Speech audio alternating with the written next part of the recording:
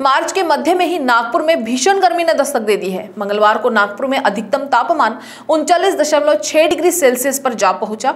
24 घंटे में पारा दो दशमलव चार डिग्री सेल्सियस चढ़ा, पर सामान्य से चार डिग्री अधिक होने की वजह से गर्म हवाओं और धूप की तीक्ष्ण किरणों ने हलाकान कर दिया। इस बार गर्मी ने कुछ ज़्यादा ही पहले अपना असर दिखाना शुरू कर दिया है, जिसका असर नागपुर में कल दिखाई दिया। मौसम विभाग की माने तो विदर्भ के अधिकांश जिलों में गर्म हवा के थपेड़े आगे भी चलेंगे। अधिकतम तापमान सामान्य से तीन से पाँच डिग्री अधिक दर्ज किया गया।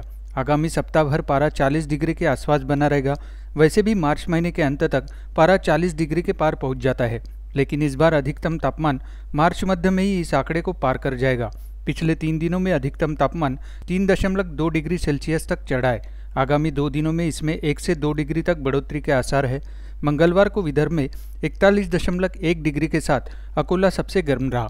इसके अलावा वर्धा में 40, अमरावती में उनचालीस दशमलव आठ ब्रह्मपुरी व चंद्रपुर में उनचालीस दशमलव छः वाशिम में उनचालीस दशमलव पाँच डिग्री सेल्सियस अधिकतम तापमान दर्ज किया गया।